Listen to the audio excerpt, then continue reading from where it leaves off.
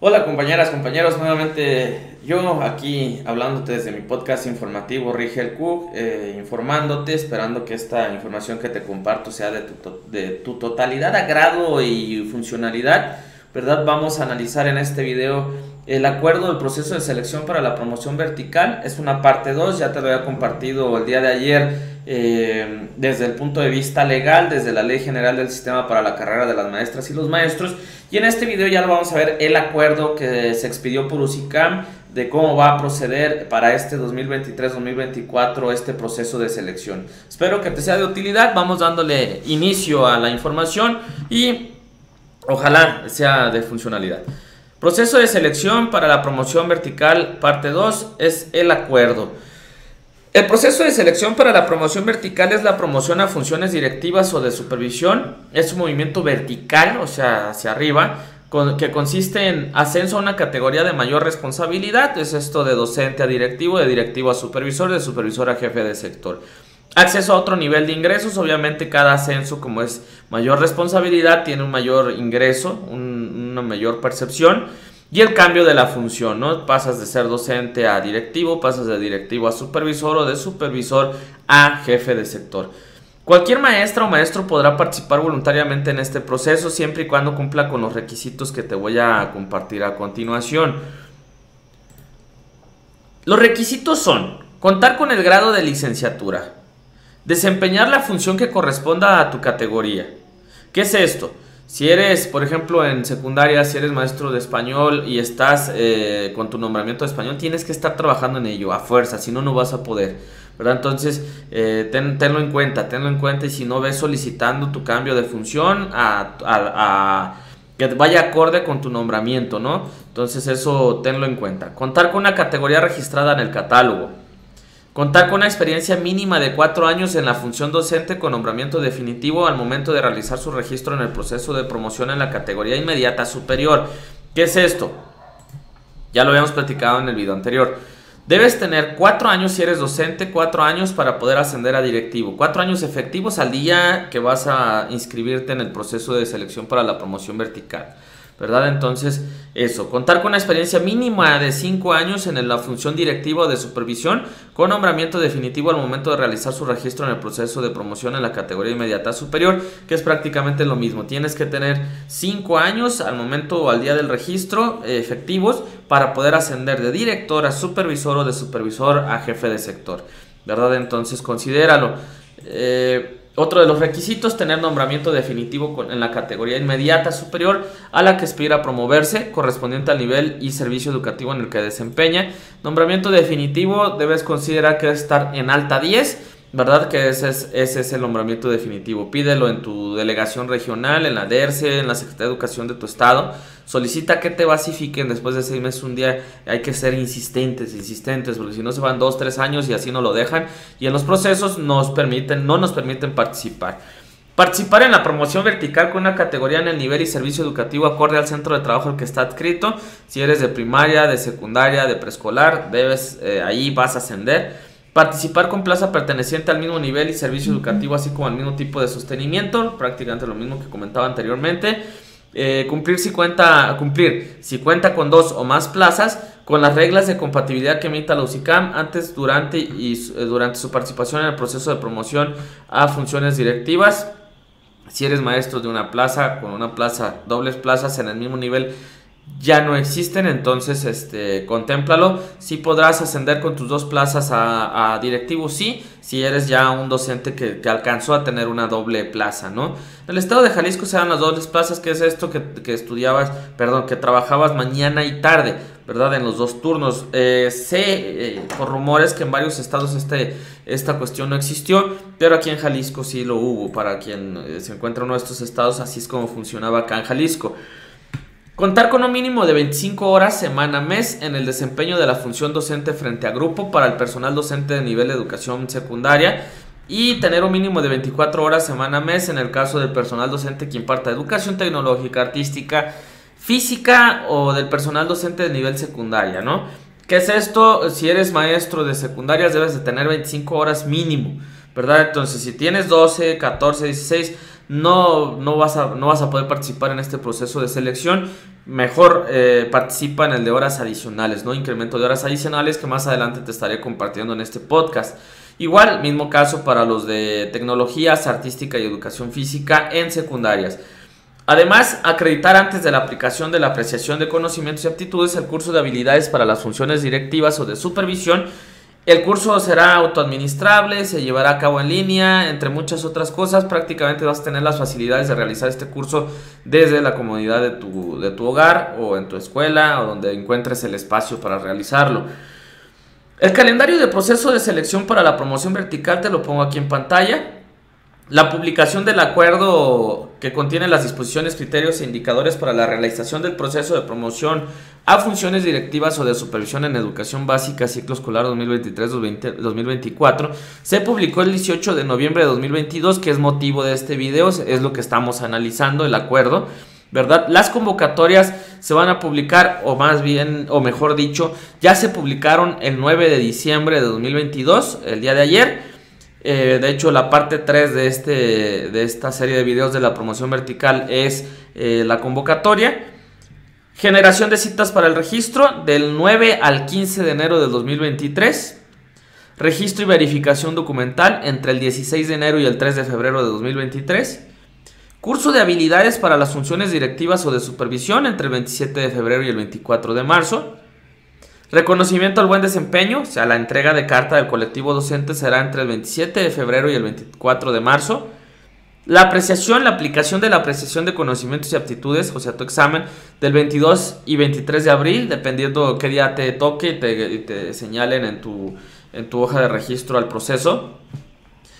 La consulta de resultados por cada participante el 27 de mayo de 2023. Publicación del listado nominal ordenado de resultados, o sea, en qué lugar quedaste, en el 1, en el 2, 3, 4, 5, 6 y demás. Ese será el 10 de julio. Y el evento público de asignación de plazas a partir de dos días después de la publicación del listado nominal de resultados. Una vez que se publique, estamos hablando del 12 de julio. Los elementos multifactoriales.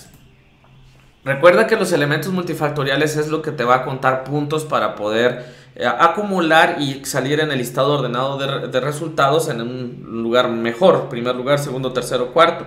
Entonces, estos son los elementos multifactoriales. Incluso pueden determinar el hecho de que asciendas o no, ¿verdad? Entonces, formación profesional contemplará los estudios posteriores a la licenciatura que el participante concluyó en instituciones públicas de educación superior y particulares con reconocimiento de validez oficial de estudios Antigüedad, que son los años en servicio acumulados en el desempeño de funciones docentes, directivas o de supervisión en el servicio público educativo. 3. Experiencia y tiempo de trabajo en zonas de marginación, pobreza y descomposición social. Contempla las condiciones sociales y económicas del lugar en que la maestra o el maestro ha desempeñado su función. Y hasta aquí van tres elementos multifactoriales que más adelante te voy a publicar cuántos puntos vale cada uno de estos elementos. De aquí nos pasamos al 4, reconocimiento al buen desempeño referente a la valoración de la labor cotidiana para favorecer el máximo logro de aprendizajes de los educandos, del personal que aspira a, promoverse a funciones directivas o de supervisión realizada con la participación de la comunidad educativa, madres, padres de familia o tutores, estudiantes y compañeros de trabajo. 5. Apreciación de conocimientos y aptitudes es un sistema que permite identificar a través de instrumentos objetivos lo que saben y son capaces de de hacer las maestras y los maestros para favorecer el desarrollo integral y aprendizaje de los educandos, ejercer las funciones directivas o de supervisión.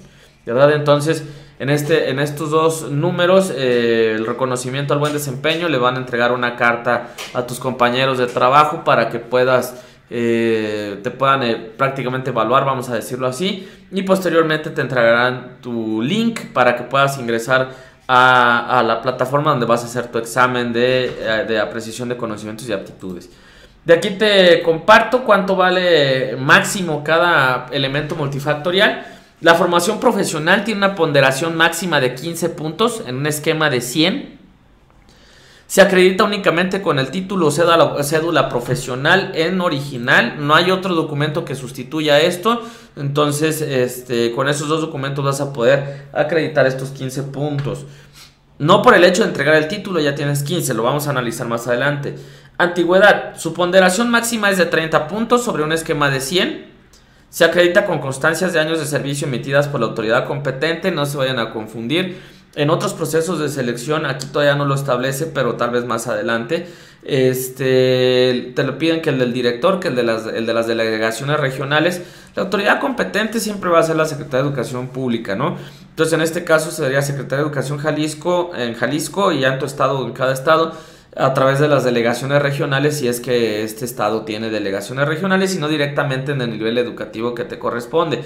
Ya si la convocatoria te pide la, la porque la, la convocatoria puede modificar algunos requisitos. ¿verdad? Entonces por eso lo vamos a analizar eh, como una convocatoria base, la de Jalisco, y de ahí vamos a, determinar qué documentos son los que debes entregar y en dónde los puedes conseguir. Eso en una parte 3 de video. Experiencia y tiempo de servicio en zonas de marginación, pobreza y descomposición social se ponderan con 15 puntos máximos sobre un esquema de 100 puntos. Se acreditará con los registros de él o los centros de trabajo en que haya laborado en los últimos 10 años el trabajador interesado en ascender, ¿verdad? Los centros de trabajo ubicados en zonas de marginación, alta pobreza y descomposición social estarán integrados en los catálogos que para tal efecto emita la UCICAM. La UCICAM pondrá a disposición de las autoridades educativas de las entidades federativas los catálogos correspondientes a fin de identificar la trayectoria laboral de los participantes en zonas de estas características. Incluso ya en la convocatoria viene cuáles son estos lugares de alta marginación o de marginación y alta pobreza, ¿verdad? Entonces ya viene establecido qué lugares y ya nada más es que determinen cuánto tiempo laboraste o laboras o sigues laborando en estos lugares, ¿no? En, esta, en estas comunidades. 4. Reconocimiento al buen desempeño. Tiene una ponderación de 10 puntos sobre un esquema de 100. Se acredita con una carta del colectivo docente que presenta la maestra o maestro participante. Y finalmente, la apreciación de conocimientos y aptitudes. ¿Verdad? Entonces aquí tiene una ponderación de 30 puntos sobre un esquema de 100. Se acredita con la aplicación en línea a través de la plataforma que para tal efecto ponga la UCICAM, que es tu examen prácticamente. Y finalmente ya cuando lleguen las fechas de publicación de resultados, si deseas consultarlos, en esta página de internet lo podrás consultar, que es http dos puntos diagonal diagonal y tu resultado tiene una vigencia de hasta el 31 de mayo de 2024, o sea, desde que tienes la publicación de tus resultados hasta esa fecha podrás ascender. Si pasa del 31 de mayo y no agarraste una clave definitiva en dirección, ya no vas a ascender, tendrás que volver a hacer este proceso nuevamente. Vamos a verlo en resumen. Formación profesional te vale 15 puntos de 100, antigüedad 30 de 100, experiencia y tiempo de trabajo en zonas de marginación y pobreza y descomposición social 15 puntos de 100, reconocimiento al buen desempeño 10 puntos de 100 y apreciación de conocimientos 30 puntos de 100 que te da un total de 100 puntos, ¿verdad? Entonces este es el puntaje que se asigna. Vamos a analizar uno a uno este, cómo se van a desmenuzar, vamos a decirlo así. Elemento multifactorial de formación profesional. Si tú entregas una licenciatura, entiende que no tienes o debes comprender que no hay puntos, cero puntos. Si entregas una especialidad, se te asignan 5 puntos. Si entregas una maestría, 10 puntos. Y si entregas un doctorado, 15 puntos. Ahí ya llevas eh, cierto puntaje para que te pueda ayudar a ascender, ¿no? De aquí nos vamos al elemento multifactorial de la antigüedad. Rangos de años de servicio. De 4 a 6 años de servicio te asignan 10, de 10 a 11.5 puntos, dependiendo cuál es el tiempo que llevas trabajando. De 7 a 12 años te asignan de 12.3 a 16.1. De 13 a 18 años de 16.9 a 20.7. De 19 a 24 años de 21.5 a 25.3. Y de 25 a 30 años de 26.1 a 30 años a 30 puntos, perdón. Entonces aquí está el, elemento multifactorial de antigüedad. Este es el, puntaje que te, que te va a asignar cada, cada rango de edad, ¿verdad? Entonces para que lo contemples y lo tengas ahí a la mano. En cuanto a la experiencia y tiempo de trabajo en zonas de marginación, pobreza y descomposición social, contempla los, los últimos 10 años de servicio en funciones docentes, directivas o de supervisión según lo que estés eh, ejerciendo, la función que estés ejerciendo considerando las condiciones sociales y económicas de la ubicación de los centros de trabajo donde las maestras o maestros desempeñaron su función. Se tomará en cuenta un mínimo de un año de experiencia y un máximo de 10 años de conformidad a lo siguiente, o sea, mínimo uno y hasta un tope de 10 años, ¿no?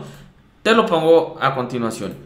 De, perdón, Rango de años de servicio en zonas de marginación, pobreza y descomposición social. Si has trabajado de 1 a 3 años, te asignan de 2 a 4.8 puntos. De 4 a 6 años, de 6.3 a 9.2 puntos. Y de 7 a 10 años, de 10.6 a 15 puntos. Entonces, esta parte sí te ayuda bastante. Si has elaborado en el lugar de este, de este, de, con estas características, bueno, ahí está el puntaje que te pueden asignar al respecto de la promoción vertical. Eh, reconocimiento al buen desempeño, carta al colectivo docente, si te lo elaboran y tú haces esta, esta, parte según lo establezca la convocatoria. Si lo acreditas el buen desempeño, eh, si no lo acreditas te dan 0 puntos, si lo acreditas ya son 10 puntos ahí de sobra. Elementos multifactorial de apreciación de conocimientos y aptitudes corresponde al sistema que permite apreciar los conocimientos y aptitudes, capacidad de gestión y experiencia necesarios, además de la vinculación y compromiso de las personas que aspiran a las funciones directivas o de supervisión con la comunidad escolar, para contribuir con el desarrollo y aprendizaje de los educandos. Será valorado con un instrumento de conocimientos y aptitudes, el cual será analizado mediante la teoría clásica de los tests para garantizar su confiabilidad y validez. ¿Qué es esto? Eh, pues te van a hacer un examen y lo que saques en ese examen es lo que tu calificación y tu calificación corresponderá a ese puntaje de, de 0 a 30, ¿no? Entonces, esta es apreciación de conocimientos y aptitudes. Y bueno, esto es lo más importante que tiene el acuerdo en el aspecto de qué es lo que te van a evaluar. Esto es lo importante de, este, de la parte de este podcast. Eh, te puedo eh, poner las fases y demás, pero tiene sentido. Vaya, la convocatoria te establece las fechas cuando va a pasar cada cual. Ya te publiqué aquí las fechas del, proceso de selección para la promoción vertical. Y bueno, de mi parte sería todo. Esto es lo que viene en el acuerdo. Considero importante conozcas para que te prepares, que si te conviene lo hagas. Eh, el proceso, si dices, no, me voy a desgastar trabajando haciendo el proceso de promoción vertical y con lo que tengo no me va a alcanzar, mejor me preparo una especialidad, una maestría, un doctorado y el próximo, el próximo año o dos años o tres años, dependiendo de lo que dure tu posgrado, este, me aviento este, este proceso o me espero me genera un poquito más de antigüedad. Vaya, eso ya tú lo determinas, porque también tienes la promoción horizontal. Y bueno, compañeras, compañeros, los invito a suscribirse a este canal, que me ayuden a compartir, reaccionando, comentando en las diversas redes sociales. Me ayudan bastante, lo hacemos desde un ámbito gratuito, este tipo de información que nos cuesta tiempo, nos cuesta cierto esfuerzo realizarlo, transcribirlo para que se vea bien, nos gusta hacer el trabajo bien, lo más fácil es proyectar el PDF y de ahí nos vamos, pero no, la idea es que te quede claro, que te guste la información, que la dijeras bien eh, que, la entiendas, porque muchas leyes las hacen para que no las comprendamos prácticamente. Entonces, este, la intención es eh, digerirlas para que tú lo comprendas mejor y vayas preparado a lo que te compete o a lo que, a lo que vas a enfrentarte, vaya. Entonces, te agradecería mucho que me ayudes de esa manera. Te he quedado permanentemente a tus órdenes. Soy el profesor Riger Q. Muchas gracias por seguir este podcast informativo. Como dice ahí el cuadrito de acá abajo, eh, suscríbete, comparte y comenta. Muchas gracias por tu atención. Te estaré compartiendo la parte 3, que es la convocatoria que tomaré como base la de Jalisco y te compartiré los links para que bajes la de tu propio estado y ahí vamos a estar a la orden. Te mando un fuerte abrazo, muchas gracias por tu atención, que tengas un excelente fin de semana.